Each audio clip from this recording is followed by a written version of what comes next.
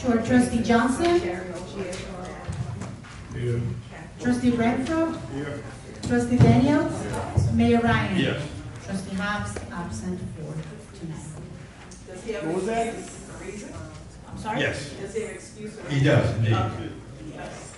So we're gonna start with the presentations of the activities report. We're gonna start with, uh, recreation and parks.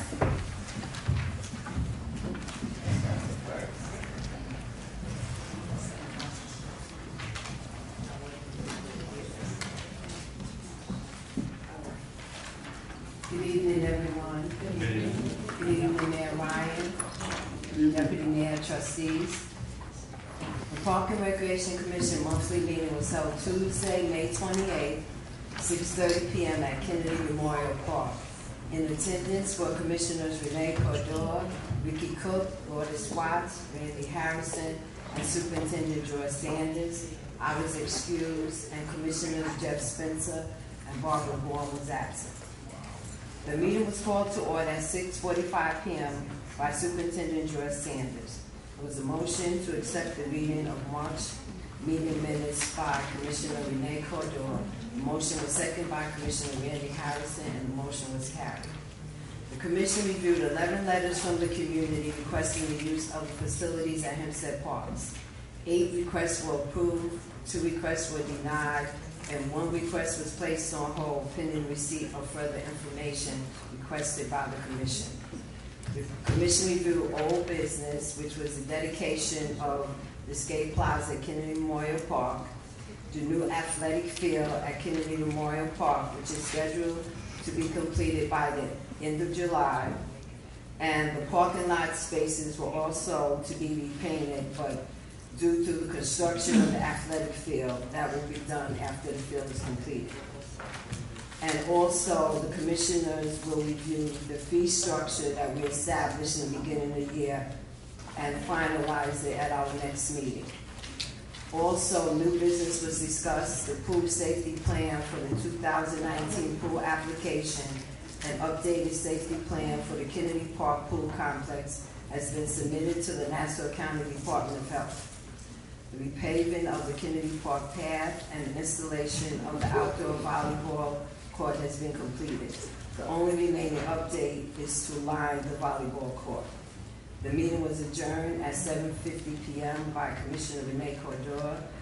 The next monthly meeting of the Parks and Recreation Commission will be scheduled for Tuesday, June twenty-fifth, beginning at six thirty PM. Uh, what I'm about to say is off a topic regarding my report, but since I'm up here, I decided to say it now. I would like to personally thank the person responsible for the six-week introduction to Spanish classes held at the Hempstead Public Library in April and May. I attended these classes on Tuesday from six-thirty to eight o'clock PM, and the instruct- instructor, Miss Irene, was excellent. All the participants had one question, which I present to the board. Are these plan, are there plans to continue these classes at Hempstead Public Library in the immediate future? Um, First, I want to say, um, uh, thank you, as well, not we, we do everything possible for our students. Okay, so, is anybody, I would have been more impressed if you said it in Spanish. I started, I started to do that, but I didn't, only because I wanted to stress the fact that we need part two. Uh, point counterpoint. And also, let's, uh, pray for the staff members that are in the hospital. Yes, yes. I, I will find out at the next, at the upcoming, uh, library meeting, Okay, you let us June know. nineteenth. Okay, thank you. Thank you. Human Relations,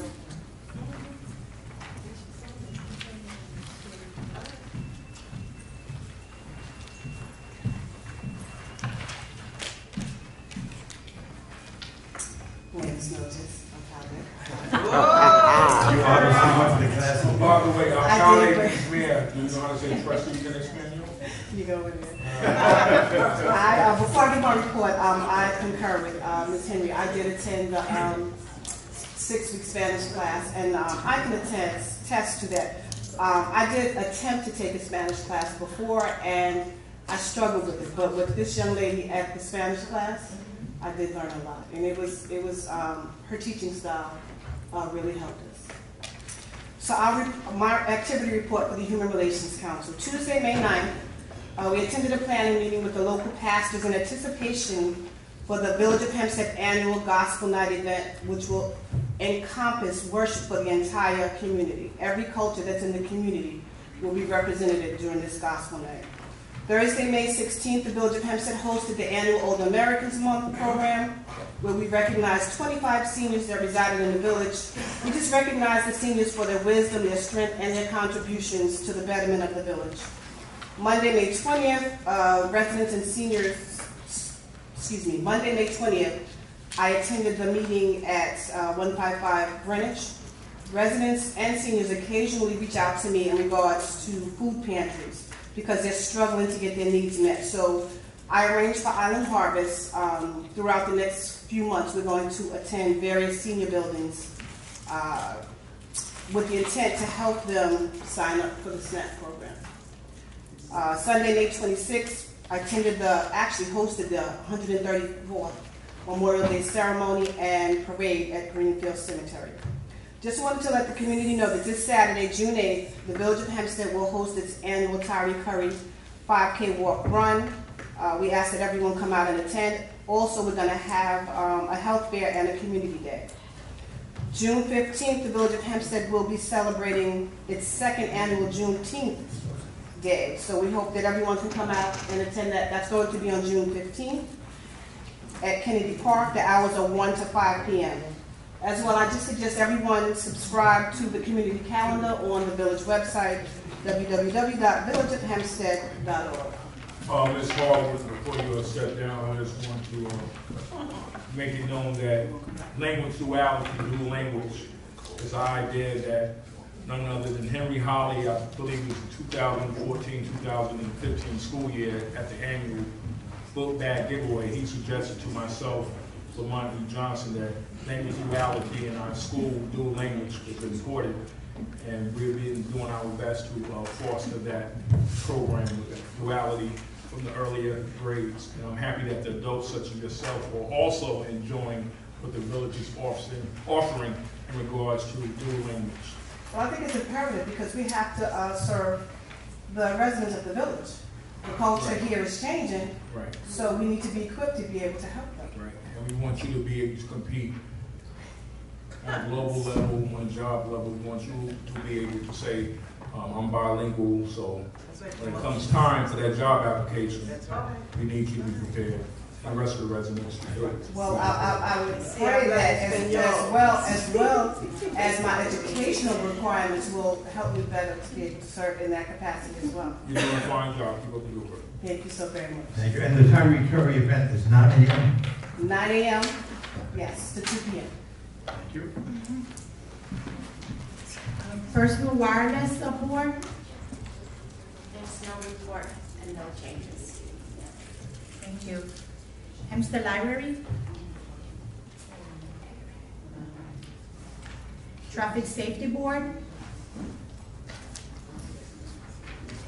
Hempstead Council Civics Association? Uh -huh.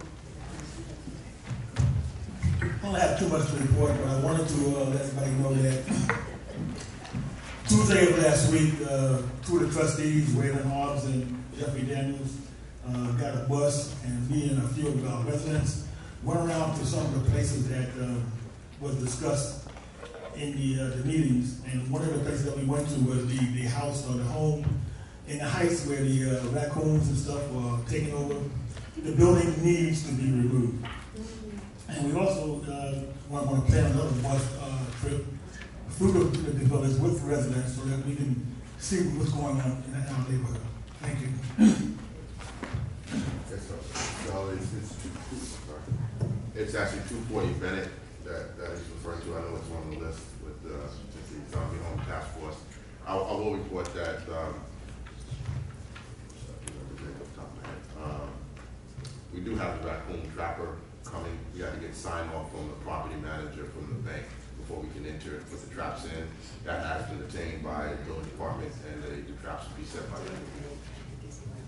We You also would like to mention that uh, Deputy Mayor Charles Renfro, along with uh, our village videographer, Antonio Kelly, pretty much memorialized what was going on at that house more than a month ago. Here, here.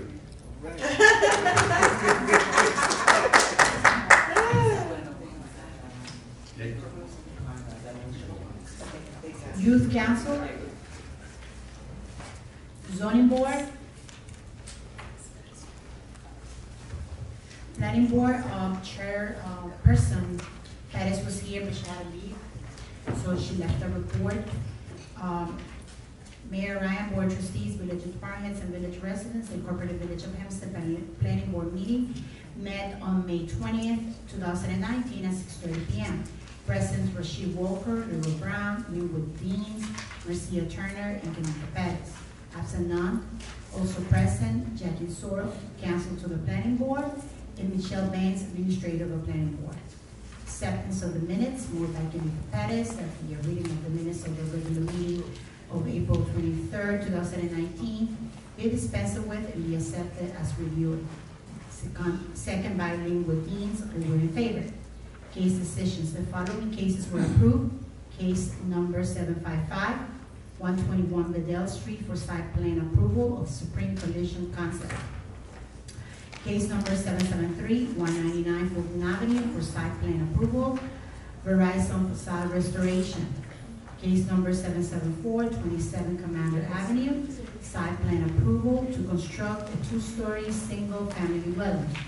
Case number 775, 123 Main Street, site plan approval of professional torch barber shop. Case number 776, site plan approval of Princeton Street for subdivision of lot and to construct two and a half story brick dwelling. Case number 778, 522 Peninsula Boulevard, site plan approval of new stone creation. In case number 782, 44 Elm Avenue, site plan approval to construct a one-story family dwelling. There be no further business and motion was made by Benito Pettis to adjourn the meeting, second by Marcia Turner, and all were in favor. The next planning board meeting will be held Monday, June 17, 2019, at 6:30 p.m. Respectfully submitted by Benito Pettis, chairperson. Um, Hempstead Housing Authority, It's a nice day for this. CDA,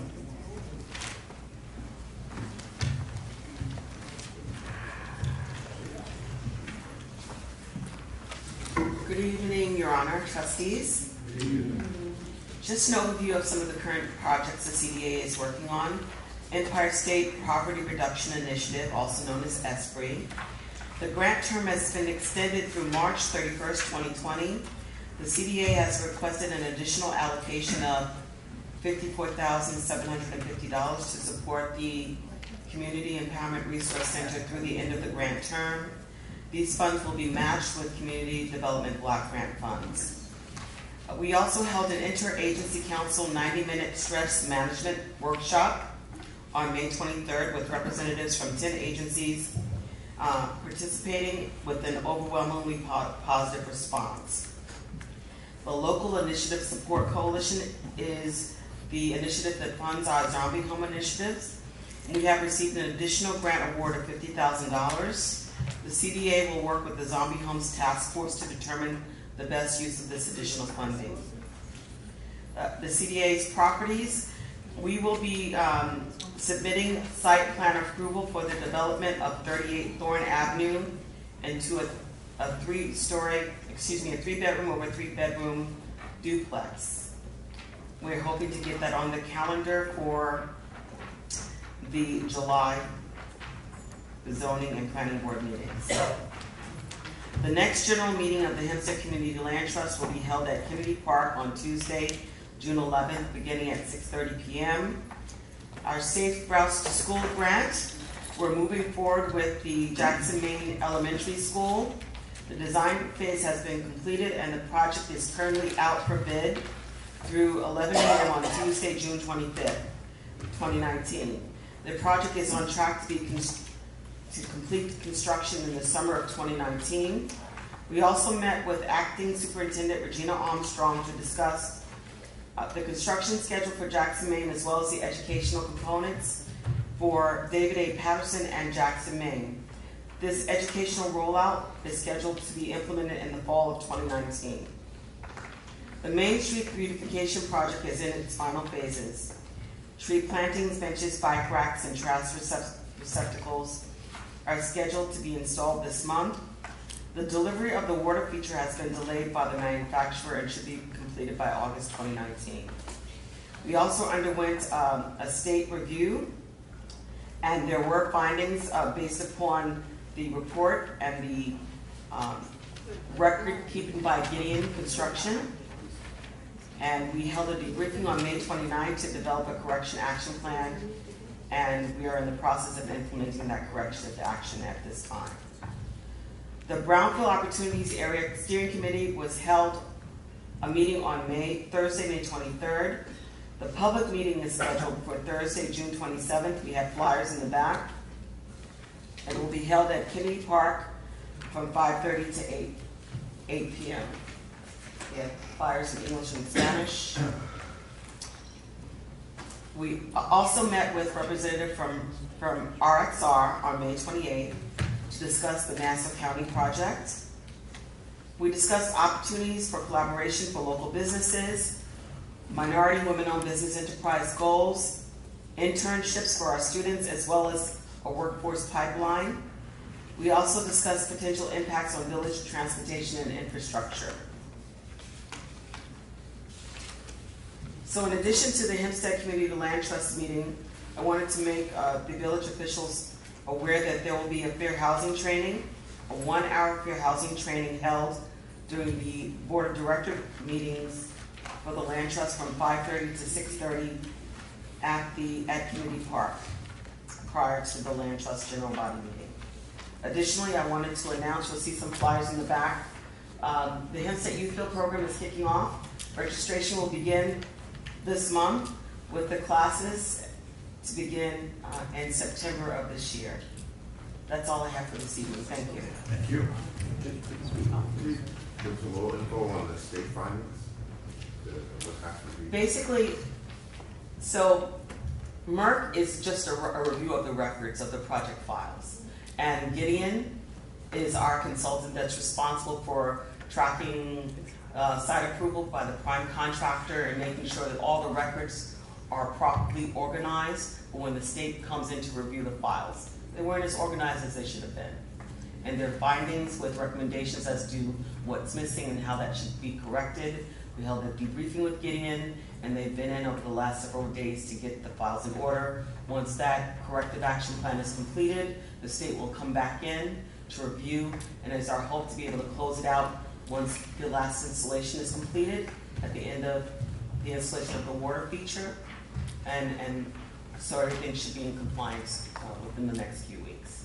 It is, on, on the, um, the, the Main Street project, Yes.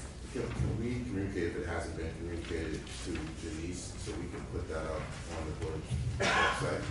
In terms of the, the closing and the construction schedule, with this and with stuff we're meeting with Frankie later to discuss that as well. So at least the residents know where the traffic points are gonna be in terms of backup and delays in, our- in the village, right? Because there's a lot of projects going on, sometimes Franklin is, is tore up. Congested. Yeah, it's congested. So if the residents know ahead of time, at least they can plan accordingly. I will definitely follow up with Shanice. And we'll do the same with, with Frankie and the DPW side. Then this is the last thing on, on the, uh, on the hub project. Is that a, a connection directly to the CDA in terms of trying to measure what the impact is going to be? Or is the, is the village also having that same dialogue with, with the hub in terms of what the impact, potential impact would be to? We've met with them, uh, there's a few of us that are on different committees, and we have met with them, we're updated on a constant basis.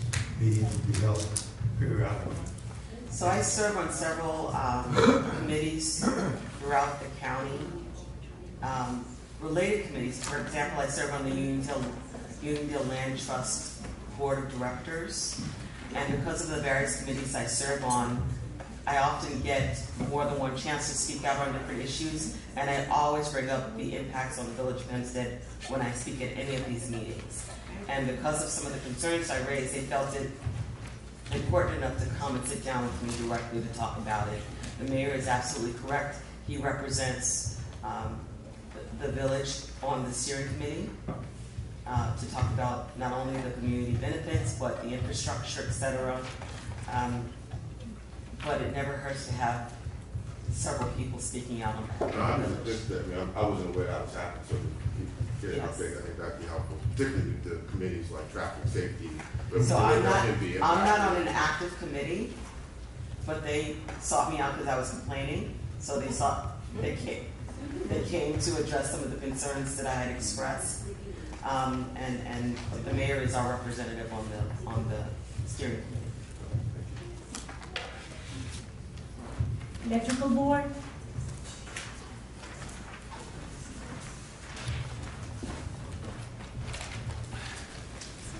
Good Mayor, Deputy Mayor, trustees. I'm here to present the report for the Electrical Licensing Board.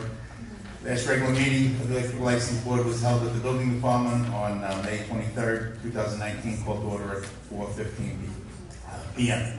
Uh, Present was Mr. Constantine, the Electrical Inspector, Mr. Conjeni, uh, Mr. Dimitru, myself, Uh, absent with Mr. Castillo. Uh, The minutes of the meeting of the April 2019 uh, were uh, approved as read. Uh, All were in favor. The following applicant, there was no applications to take the exam this month. The following applicant passed part one of the license exam, Ms. Renee DiPiazza of Garden City, New York. Um, The following applicant failed part one of the electrical licensing exam, Mr. James Madigan of Brookhaven, New York. And the follow- following applicant was given his oral exit exam and recommended for an electrical license uh, for the Village of Hempstead by uh, Board of Trustees, uh, Mr. Brian Flanagan of Huntington, New York. Uh, Motion was made by myself and seconded by Mr. Conjeni uh, and carried uh, anonymously. Uh, Discussion took place regarding uh, continuation of the discussion on Article 11026 of the National Electrical Code, dedicated equipment space uh, about electrical switchboards, panels, and motor control centers. Also, PSE and G requirements for obtaining temporary electrical certificates was uh, discussed, and uh, um, questions were uh, addressed from Mr. Constantine. Next meeting will be June 27, 2019. With no further business uh, to come before the board, the meeting was adjourned at 6 PM. Respectfully submitted.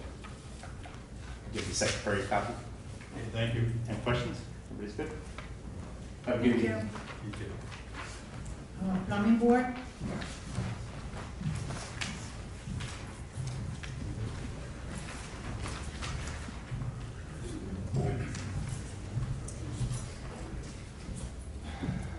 Good evening, Mr. Mayor, trustees, hope everybody's okay, village residents, hello, good afternoon. A regular meeting of the examining board of plumbers was called to order at 4:15 PM, May 28th. We had two new applicants this month to become Tri-Town plumbers. Uh, The first was John McGrady of Glen- of Glen Cove. After reviewing his paperwork, he met all uh, Tri-Town requirements and was accepted as a village plumber. The second applicant was uh, Joseph Tetley. After reviewing his paperwork, it was determined that he did not meet all the requirements to become a tri-town plumber, therefore he was not accepted. We also had a brief discussion on the suspension of uh, temporary gas from National Grid. Uh, That's going back and forth, that's still up in the air right now. Uh, We'll discuss at the next meeting to see where we stand with that. And there being no further business at this time, the meeting was adjourned at approximately 5:15 PM. Thank you. Uh, village historian,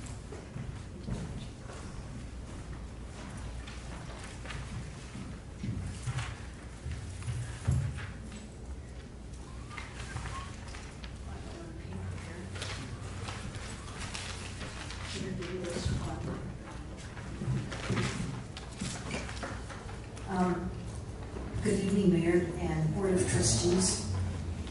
And everybody, you set a nice example.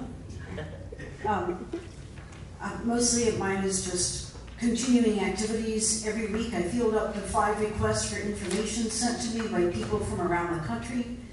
The latest was about a 1930s to 1950s burlesque dancer who called herself Lynn O'Neill the original Garter Girl, and who later became a member of the Hempstead Historical Society. And somebody's doing research on her, and actually Irene Duskovich knew this lady, so The library. not on the stage, as a as a member of the Historical Society. But anyway, you know, I get, I get a range of different requests like this, people asking for research, um, and, and I help out. Uh, I created a workshop for four second grade classes from Jackson Annex School. They were walked up to the Hempstead Public Library on May 17th for a tour of the historic photos and dolls in the library's downstairs community room.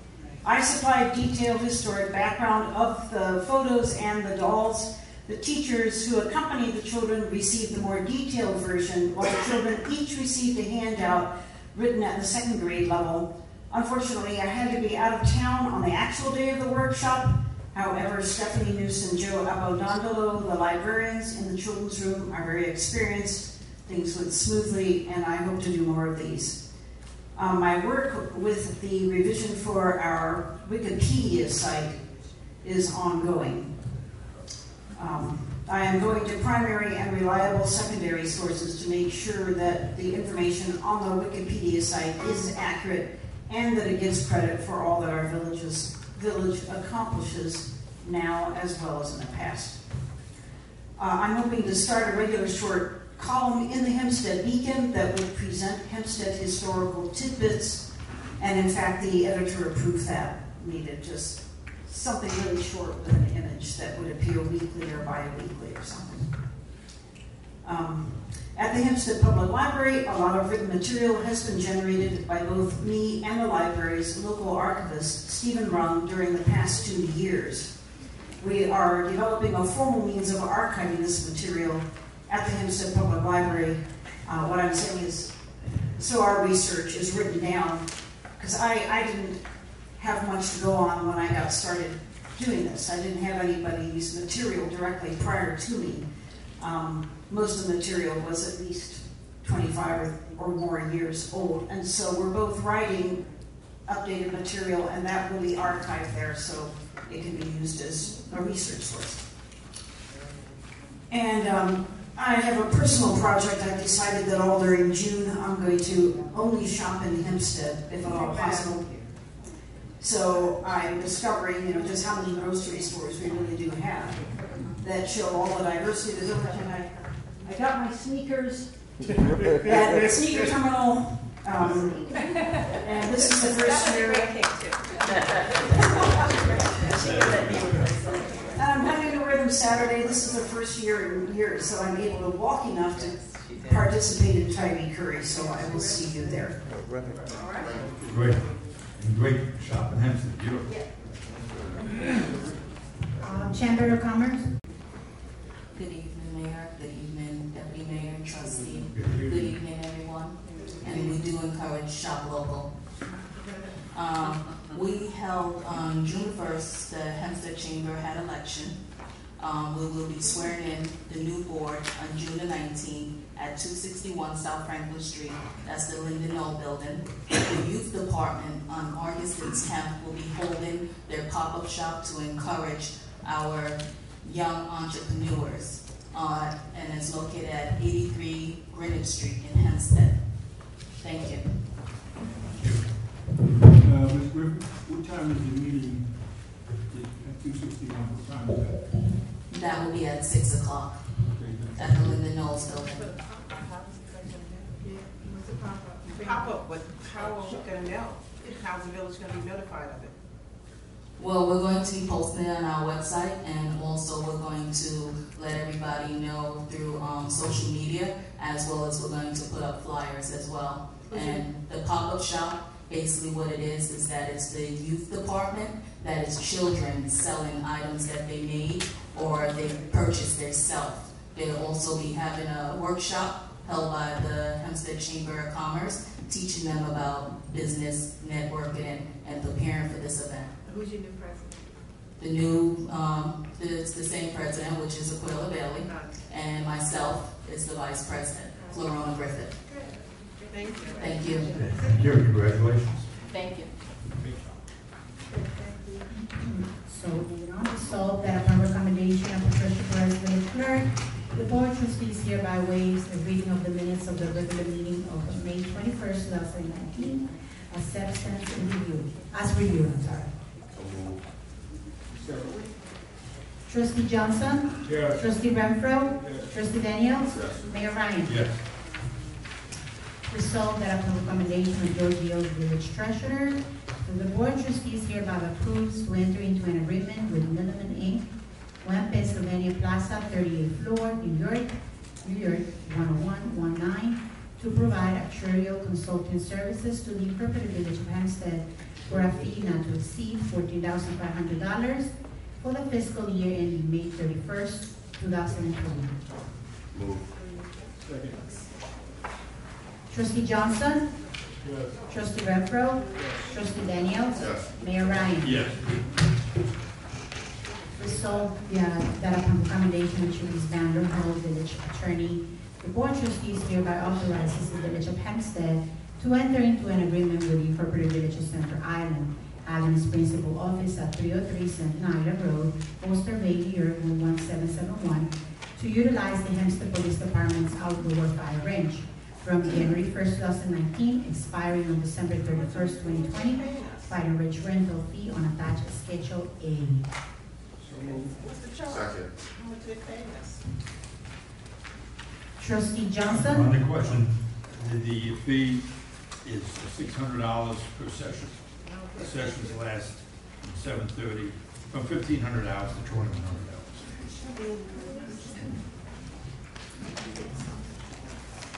Trustee Johnson? Yes. Trustee Renfroe? Yes. Trustee Daniels? Yes. Mayor Ryan? Yes. Resolved that after recommendation of Joseph Simon, Superintendent of Building Department, the Board of Trustees hereby approves to issue a license as a Master Employee Nutrition to Brian Flanagan, Three Cedar Lane, Huntington, New York.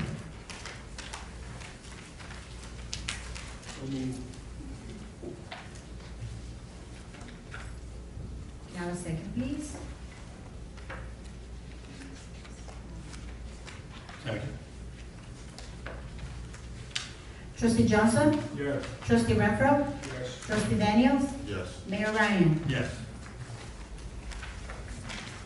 Resolved that upon recommendation of George Yale, village treasurer, that the board of trustees hereby authorizes to enter into a contract with Justin Khan and the village of Hempstead to provide advice and consultation to the village regarding information technology from May 15, 2019 through May 31st, 2020. The village will compensate the consultant at the rates and for the hours set forth on the attached appendix A. Why, we don't have anyone else working in that department? I would- Second. Okay. Question, question, Mr. Mayor. Well, Let me comment so we can perhaps solve some of the problem. The village is seeking to end the use of some programs and consolidating others. Justin has a unique understanding of our legacy system and is incorporating them into our new program. He is essential in this process. Do we have no one on He is full-time on essential. staff? He is essential, yes. Do we have anyone on staff full-time in the IT department? We do not have anybody who can do what he is doing. That's why we're asking him to be our consultant during this period of time. And how much are we paying? We're paying him hundred and twenty-five dollars an hour, fifteen hours a week. So he was an employee and now he's a consultant. Correct. Are we making plans to employ someone as a full-time? Uh, let- let's- let- Maybe we better move on to those so that we can follow, follow We've actually, Trustee Johnson? Yes. Trustee Renfroe? Yes. Trustee Daniels? Yes. Mayor Ryan? Yes. Resolved that upon recommendation of Patrick Cook, Assistant Chief of Police Department, Elisa Barrington, Director of Human Resources, the Board Trustees hereby authorizes Erica Lopez, Neighborhood A, to receive supplemental sick leave, a half pay, in accordance with village policy, Article seven, Section five of the CSEA bargaining agreement.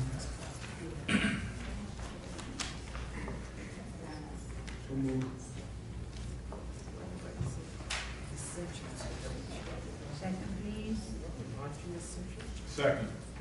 Right, okay, question just on the, the wording of the resolution. Say, can you just read it again? She, sure, The, it's item seven.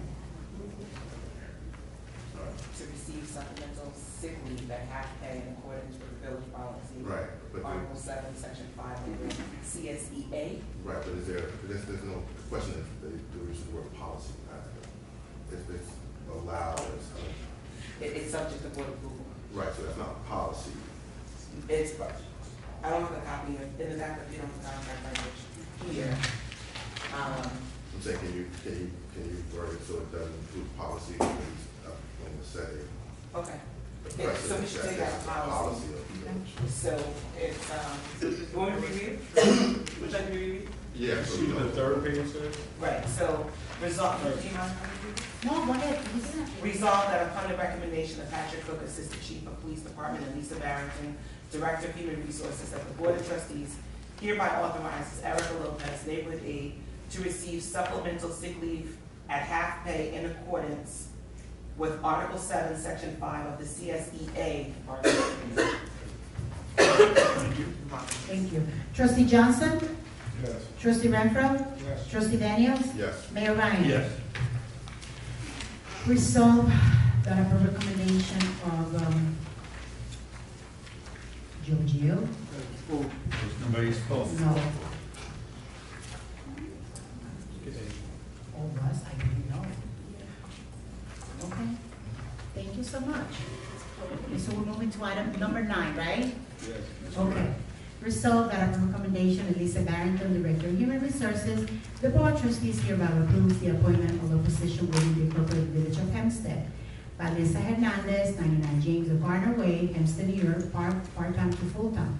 Male, typist clerk, bilingual, grade three, zero youth, with a salary of forty-four thousand, seven hundred and ninety-one dollars a year upon approval. Move. Second. just a question, this, this is, this is currently not a position that we currently have, right? This is a new position for that department? No, I think it was Lee, is Lisa here? Yes. Yeah, we, that person is currently part-time and they're cre- making a full-time position for her in the mayor's office. Right, so we're creating a position in that, in that department and funding it through savings somewhere? Correct. So, I mean, so, so, so basically we're creating a position that will be there indefinitely until this person leaves, uh, which, which would normally, I would normally have an issue with, but given the workload associated with that position and the nature of the person that's in that position, I wish her the best of luck. And I think any administration, this one and those going forward would be, uh, would greatly benefit from having this young lady in that position. I would agree. Trustee Johnson? Yes. Trustee Renfroe? Yes. Trustee Daniels? Yes. Mayor Ryan? Yes. Resolved that upon recommendation of Lisa Barrington, Director of Human Resources, the Board of Trustees hereby approves the appointment of a position within the Incorporated Village of Hempstead. Alan Woods, ninety-nine James A. Garner Way, Hempstead, New York, part-time to full-time. Public Works, sanitation, and meal training, grade one oh seven zero new, with a salary of fifty-three thousand one hundred and forty-one per year upon approval. Move. I move. Second. Who's second? Thank you. Trustee Johnson? Yes. Trustee Renfroe? Yes. Trustee Daniels? Yes. Mayor Ryan? Yes. Resolved that upon recommendation of Samantha Fountain, Deputy Village Clerk, the Board of Trustees hereby approves the appointment of seasonal employees of the Incorporated Village of Hempstead as reviewed.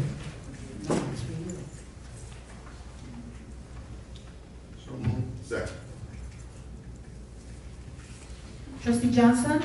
Yes. Trustee Renfroe? Yes. Trustee Daniels? Yes. Mayor Ryan? Yes. Anybody who has a question for the open mic, please bring it at this time, if not already.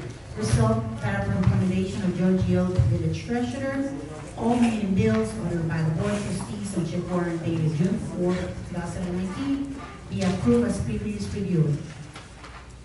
So move. Second. Trustee Johnson? Yes. Trustee Renfroe? Yes. Trustee Daniels? Yes. Mayor Ryan? Yes. Mayor Ryan, I forgot to make one announcement if I Sure. may. I um, just wanted to share with the trustees as well as with the residents. We are currently conducting um, bilingual OSHA 30 safety training uh, in conjunction with A- ABBA and Genesis Construction. It started yesterday, but there's still time to sign up if you have anyone that you know who may be interested in um, having their safety certification for construction. Please reach out to Reverend Benjamin. No, hold on. We're full. You're full? Yeah. I'm sorry. Sorry. Take that back. Uh, here we go with the uh, open mic, everyone. Director Lucas. Jesus. Not ready. Trustees. First of all, I'd like to know, uh, is the fire department gonna be the first, uh, meeting or the second meeting of the month? The Fire third, third Tuesday of the month. the third Tuesday of the month. okay. Yeah, the reason why I asked, because I was at a meeting where the Union Uniondale Fire Department gave out, the in the dark stickers with their phone numbers on it. I'd like for the, uh, we to get the same type of stickers for our fire department. Um, I'd like an update on the, uh, crime the village of Hempstead in the last two weeks, including the, uh, shot spotter, so therefore we'll be more aware of what's happening. Um, I understand that there was several stabbings in the past week, about uh, three or four or so forth.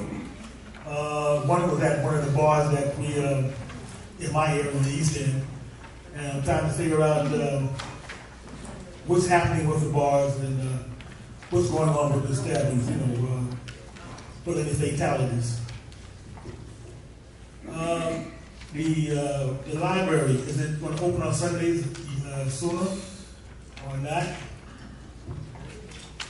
And also, um, that's it. Uh, In terms of the uh, bars, uh, I think the mayor has two appointments set up, one with uh, representatives of the community and one where he'll go independently to New York State Liquor Authority. Would you comment on Uh, yes, just to let you know that stabbing did not take place in the bar. Uh, where did it take place, you know? that? Popeye. Uh, Popeyes. Did, did it arrive from the bar to Popeyes? I believe, no, it didn't start, at- it didn't even start in the bar, but I believe that the gentleman that got stabbed was from the bar, was anticipated. All right, the reason why I asked you that, because on the news media, it says that the, uh, they had an argument in the bar and, and it uh, aroused to the, uh, the stabbing outside of the bar, which was in the park, was within the Popeyes, uh, property.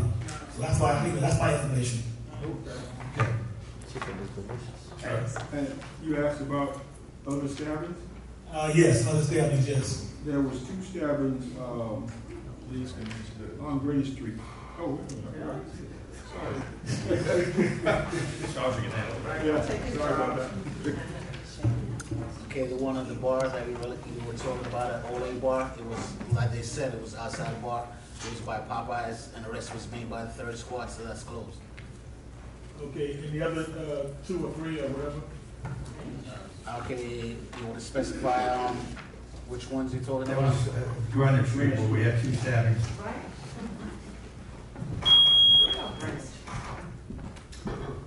It was two on the street from Kennedy Park in that little shopping mall area. All right, yeah, one was at two seventy Greenwich Street. Um, the victim stated it was gang related. It was actually an attempted robbery. They were asked for property, then one person was stabbed, his brother intervened, and he also was stabbed, not life threatening. Okay, so you said that it assumed to be gang related. What is our status on gangs in those village of Is it, is it increasing or decreasing? That would be a question related to the gang unit. I'm not privy to that information to tell you what the status is. Uh, your position tonight is to, Check and get back to us. No, my position tonight is to inform you of the crime in- in the village, your shot spotter that you requested, but as far as gangs are concerned, if I knew you wanted to have that information, then I'd get it from the person Yeah, well, who's the okay. commanding officer of the gang unit. Let's have a monthly If you report on it. come again, you know, uh, That's right. I go from one end to the other to try to figure out the, the root of the stuff. You know what I'm saying? So I just don't say stabbing, stabbing is gang related, and what's going on. I thought, is, is our young gangs increasing or decreasing and stuff of that nature? That's why I go from one end to the other. So if you, when you come again, you understand, like, I go. Ah, I totally understand, but this is my first time here. Okay. That's no excuse. Get paid every two weeks. All right, uh, what about shots fired? What happened there? Shots fired, you had twelve alerts, twelve shots fired between the May twenty-first and June second. All right, was there any personal damage, property damage? There was property damage at fifty-five Myrtle Avenue where a fence was damaged. A person was injured at four Martin Luther King Drive, shot in the leg. Uh, yesterday, there was a, someone went to Winthrop Hospital with a gunshot wound to the foot. Um, it may be self-inflicted based on where she was shot. There was no crime scene when I went there, so that's the story she was given. Okay, so, um, the, the response was, was, was, um, by phone or by shot fired? What was the response? Uh, which one? Uh, the two shootings. Okay, the one at MLK, the shots fired alert. It took place inside of a car. Usually when it's inside of a car, there's no alerts. Inside of the building, you won't get an alert. It's outside, you get an alert.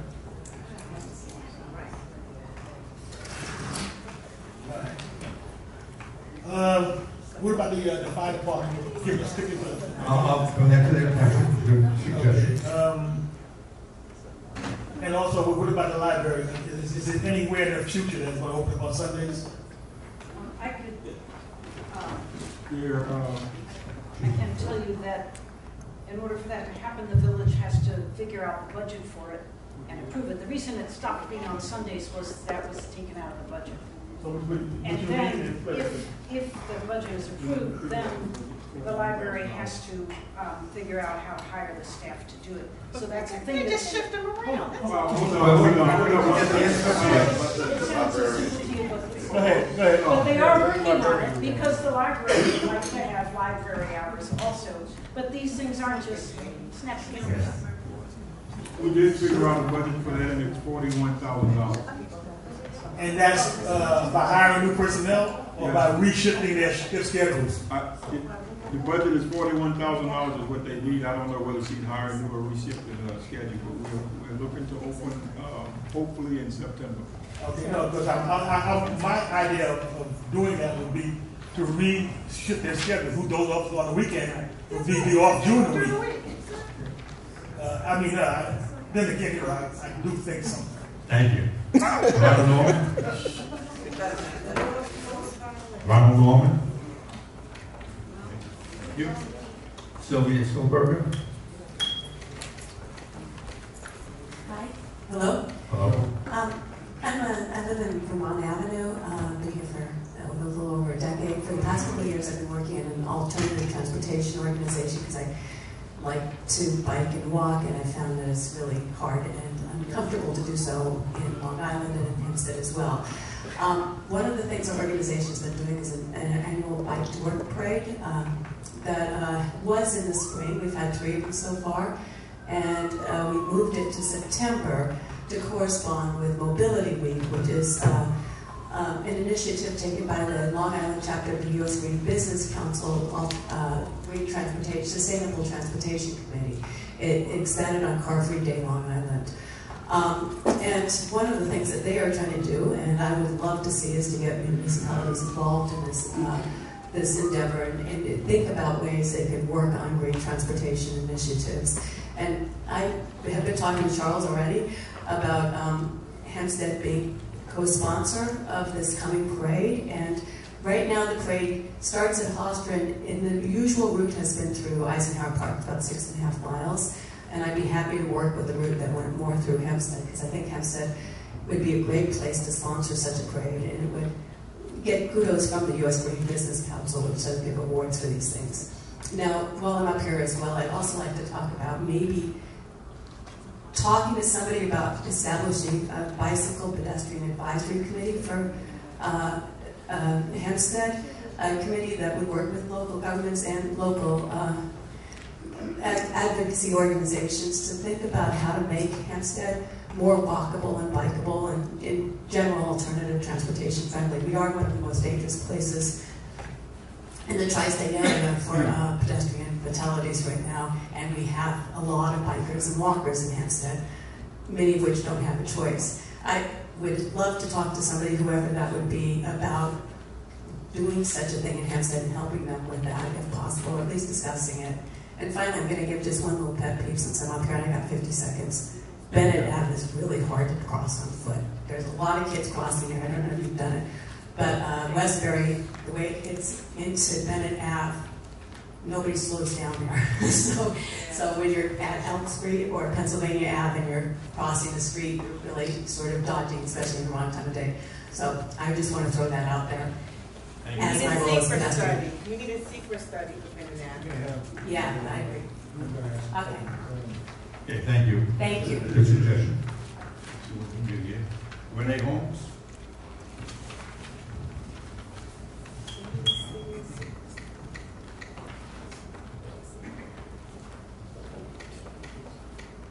Good evening, Mayor and trustees and all the attendees of the meeting.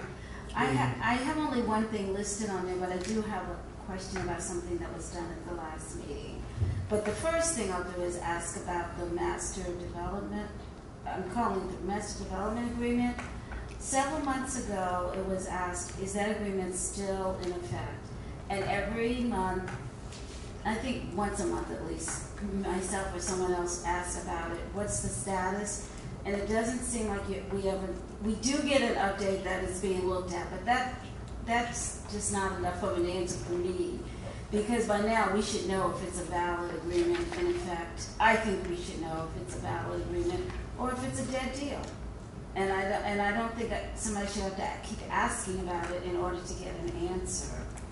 I think it should be, if it's a, if it's still in effect, tell why it is and go on with it. But if it's not, address it, because it's been at least three months that it's been raised at each, at least one meeting each month. That's my first thing. So, want me to say my second thing too? Sure. Okay. My second thing concerns the um, permits that, that might not be the correct terminology.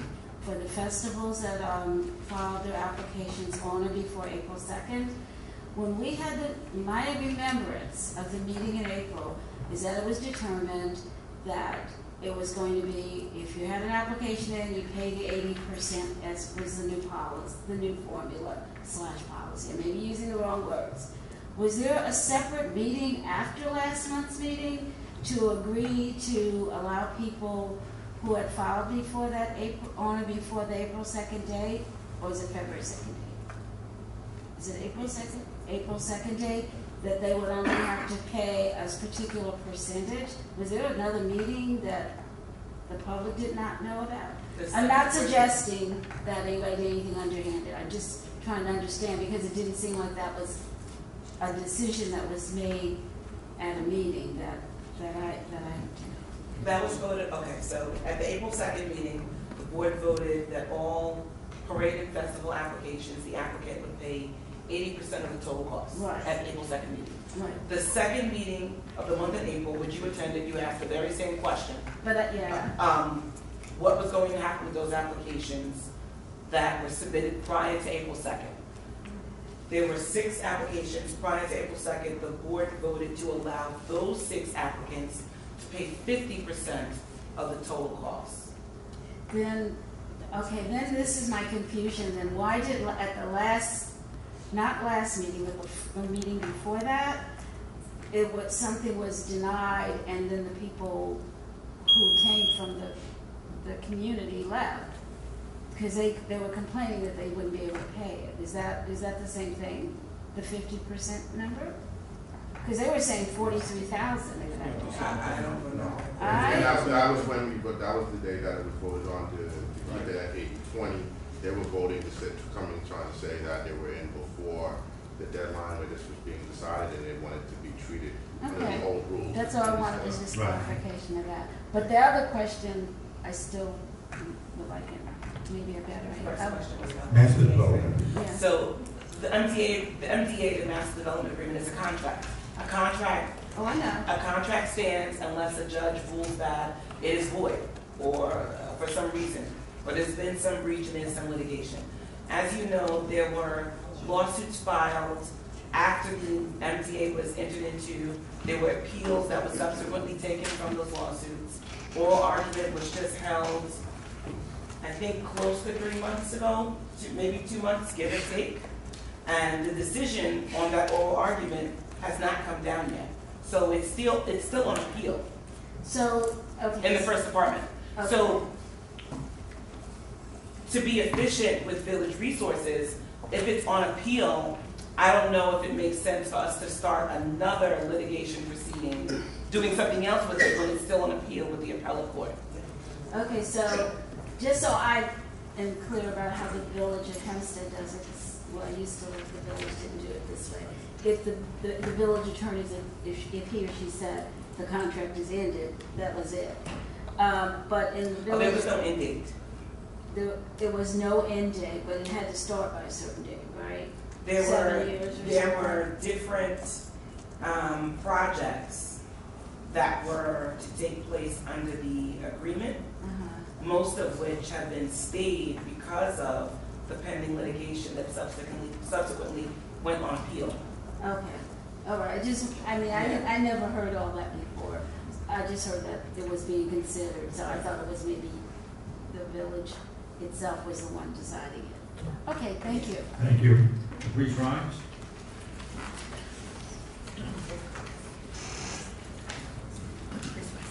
Good evening. It's hot as Hades in here.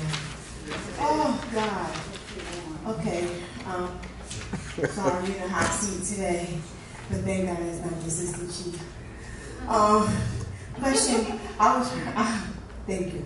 Um, I heard there was, uh, uh, there was an attempted rape of a young girl on Terrace Avenue. I don't know if you have that on that sheet. Um, in regards to people sleeping all over the village, what is the police department doing about that? That's the police department. To the board, I mentioned about this incinerator. You said you would have some information for me at this meeting today.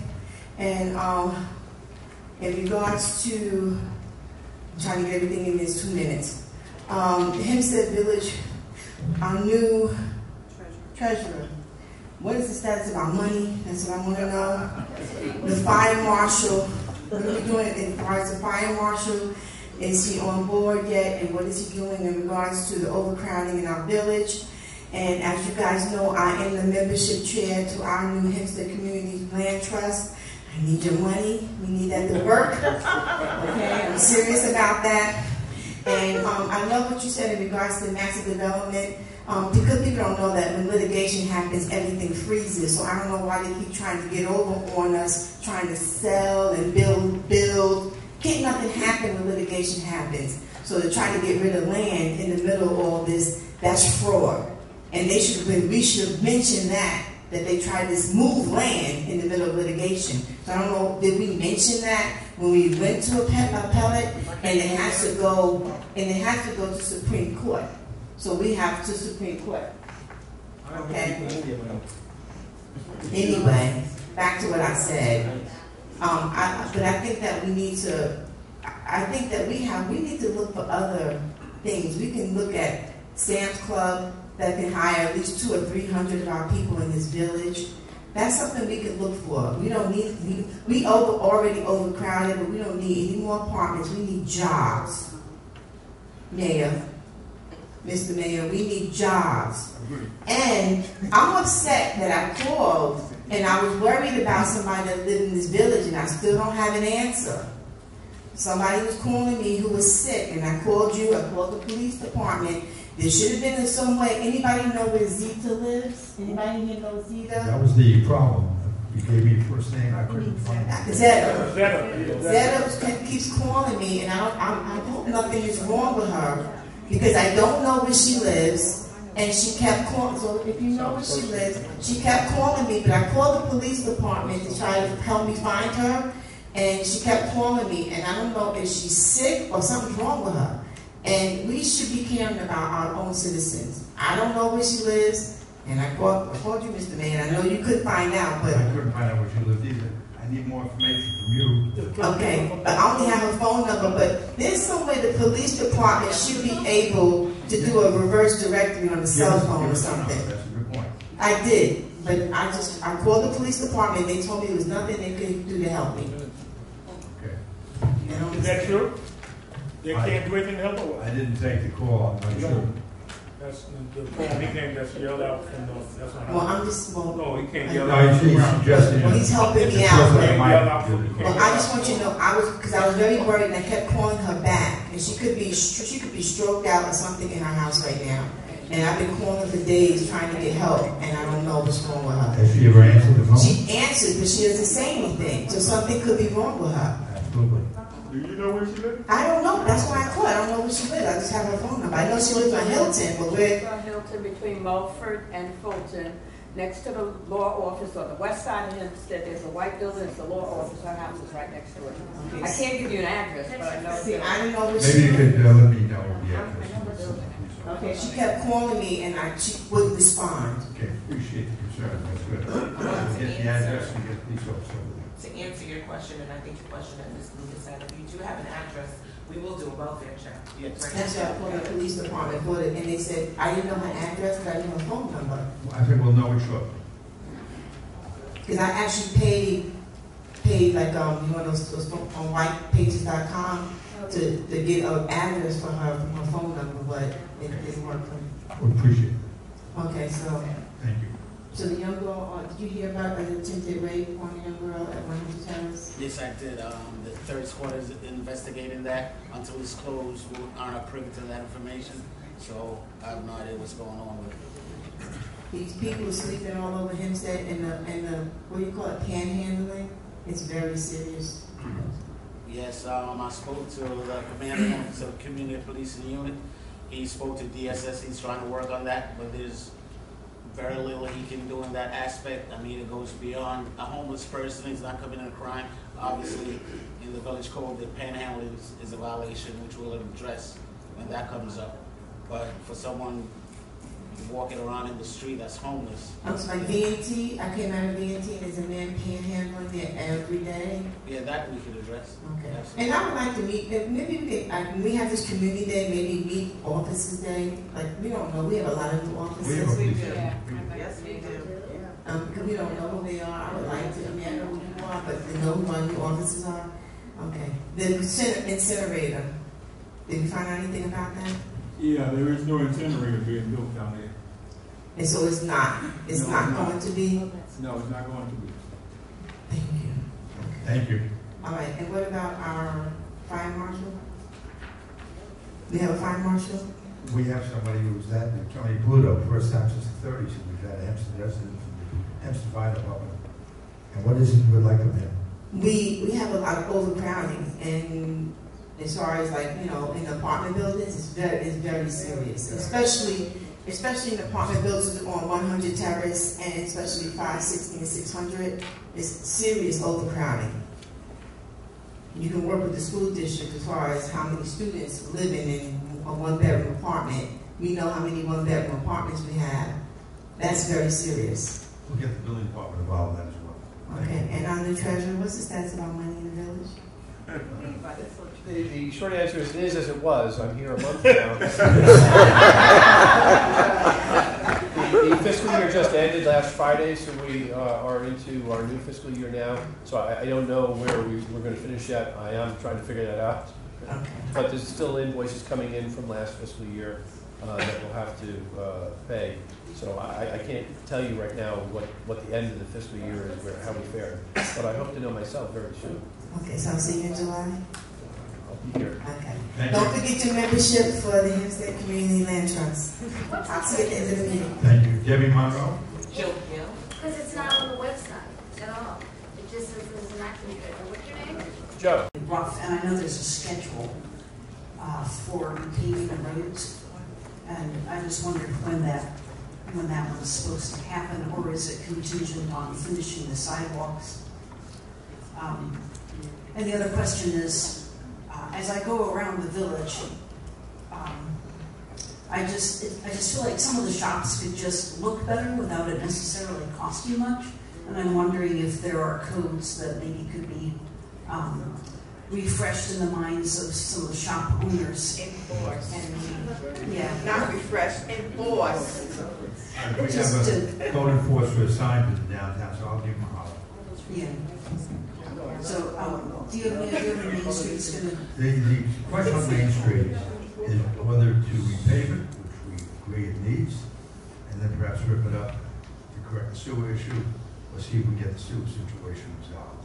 And we have uh, erred on the side of waiting for the sewers. Oh, it's a sewer system Underneath it's that, 100 years old. that has to be, that is still in the process of upgrading. That's, that's like all The report over. is, is not complete, direction that we're gonna go is, is not yet answered.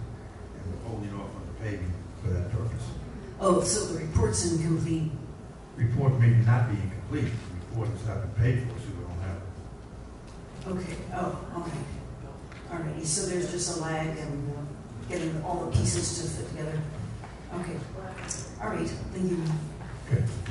Uh, Mr. Guthrie, just to let you know that they have, the code enforcement has started on Main Street. They started at the corner of Main and, and Front, and they're working their way up on both sides of the street.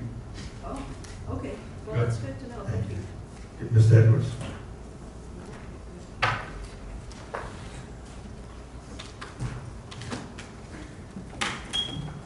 Uh, Good evening, Mayor and trustees. Good evening. Uh, One question and and one request. My question is about the public hearing that was held earlier. Because already- The public hearing. The Public hearing was earlier at six fifteen tonight. Yes. Yeah, I couldn't be here, I got here late. So my question is, um, what was the urgency of amending chapter twenty-four of the code? What was the urgency for that, and what's the reason for that? Well, we wanted to be in compliance with state law. And one of the things we did, we took out the term indefinite, and we changed it to where the village clerk has a two-year term, and the village treasurer has a two-year term. There was also some other changes, instead of calling it a uh, police, a justice court, it's simply a village justice court. And the rest of the changes were somewhat subtle, but the idea was to come in compliance with state law. So, so it wasn't in comparison before, it it was, it was, it was, it wasn't in compliance before, you see?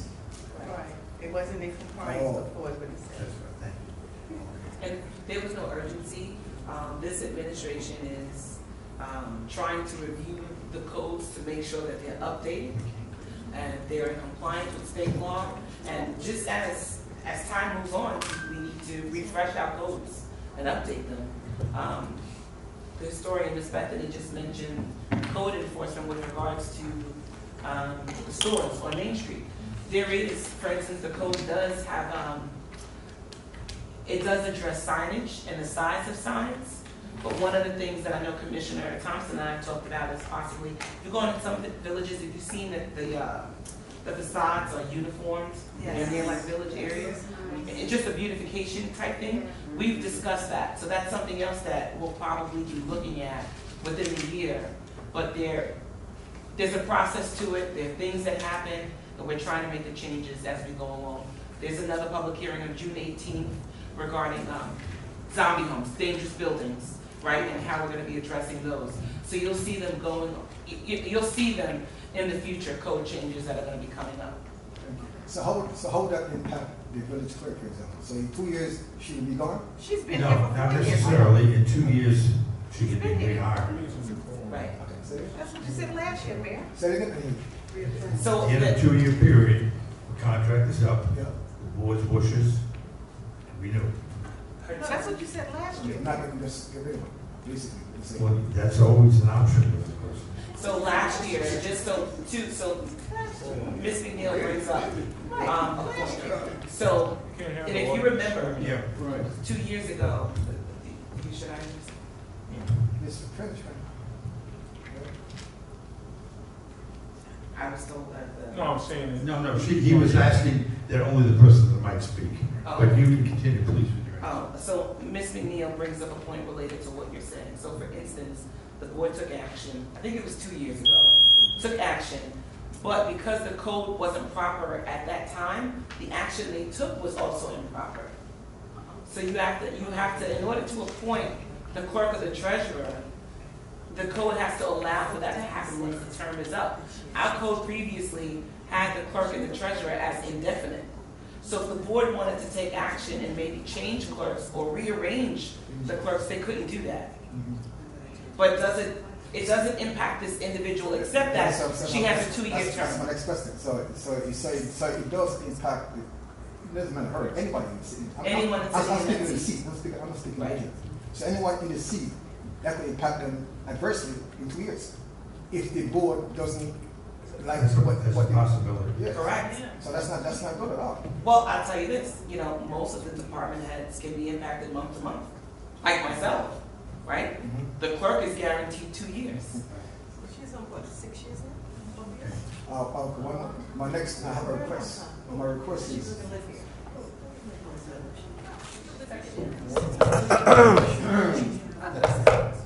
Now, I have a request. Now, my, now, my request is, I've mentioned this to the mayor before, previously before. I also want the code to be amended to up, to have the landlord's fines be upgraded. Because the fines as it stands today is very, very, very low and outdated. No, that's not the case necessarily. The fines are in place, it's up to the judge as to what he is going to use as his fine for that individual. Yeah, fifty dollars. dollar fine. Fifty I'm just telling you that So hope- so the hope- issue may not be the fine itself in terms of the potential, it is what the judge determines. So how can we get the board here to help out? You will elect a judge every four years. No, no, I'm saying, I'm not saying that the So- community, I'm saying what can the board do to. The, to- uh, the We cannot- we cannot up to get involved with the dollars. The rent guidelines was mentioned that is, you guys have a jurisdiction there. No, It's not- judge has that's incorrect? jurisdiction over the court. That's incorrect? That's not correct. The judge has jurisdiction over the court. The judge sets the fine. He does not use the fines as a fundraising capacity. So the rent He uses his judgment as to what the fine should be. So the right guidelines board was incorrect when everybody stated that. The rent guidelines board stated that you, the board here has the authority to do this. Right, they were That was mistaken. mistaken? Statement. I don't know if they made that statement. Yeah, that statement entire is not statement, they told me that. The judge judge has the authority. He runs. So you don't have authority. Yes, you have authority to change the penalties. Uh, excuse me. Thank you. I will entertain a motion to go into executive session. So move. Uh, before we go into a second. Let's get a second. I just tried the motion, the motion withdrawn, go ahead. I want to um, thank everyone that came out for the annual Memorial Day Parade, all the participants. I want to single out Ms. Juanita Harwood for the great job she did. Thank you. We would all agree, I'm glad that you brought that up, it was a successful day and and a good day. We have the oldest parade on Long Island, 133 years, great. Hundred thirty-four. Yeah, that's something. Okay, let's entertain a motion to go to executive session. That my niece at the parade. Do we have a motion? Second. I did say before, I can do it again, so personnel. Trustee Johnson? Yes. Trustee Renfroe? Yes. Trustee Daniels? Yes. Mayor Ryan? Yes, we will not come back and vote, we'll come back and close the meeting. Okay, so